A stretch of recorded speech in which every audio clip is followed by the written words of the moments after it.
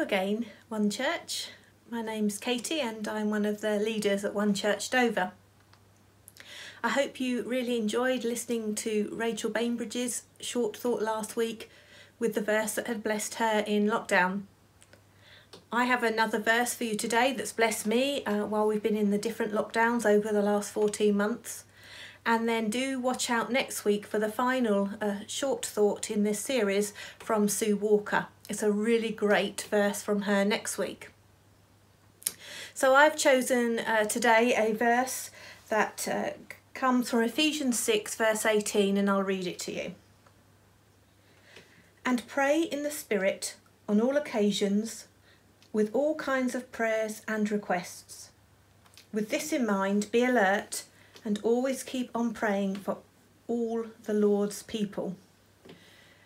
Over the last year or so, I keep coming back to the importance, the requirement of the fact that we need to be a praying people. We've had some great times of prayer, even though we've hardly been able to meet together.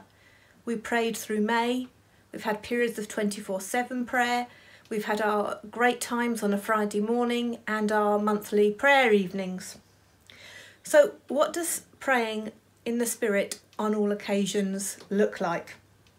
Well, I was thinking of a saying I remember hearing. I, I don't know where I heard it or who it originally comes from, which is saying that you pray until you find yourself actually praying, which might seem a little bit strange, but you pray until you actually find yourself praying.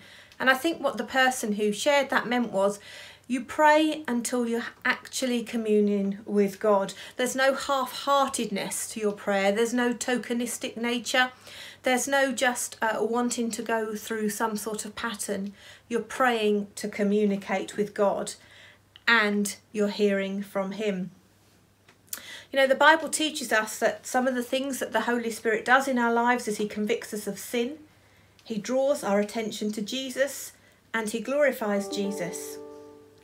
And we know that, or I know and have found that when I pray in the Spirit, my whole being is involved. My emotions, my soul are engaged, and I begin to hold on to God's promises.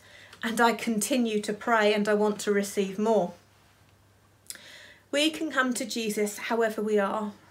We might feel a failure, we might be acutely aware of our sin, but we know that as we pray, He receives us because He came for us and gave His life for us. So I think when you pray in the Spirit, you definitely don't hurry your prayers. You probably need to confess your sins and you start to look to Jesus. You start to consider His kingdom, how you can glorify Him, and how others can come to know Him. I think as we start to do that, what happens is a sense of excitement and expectation rises in us.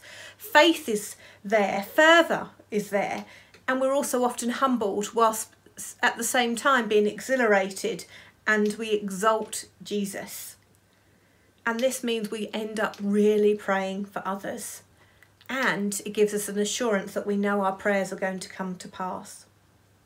So understand that you can pray in the Spirit on all occasions for all God's people. Why not try and do that regularly, often, and pray until you actually find yourself praying?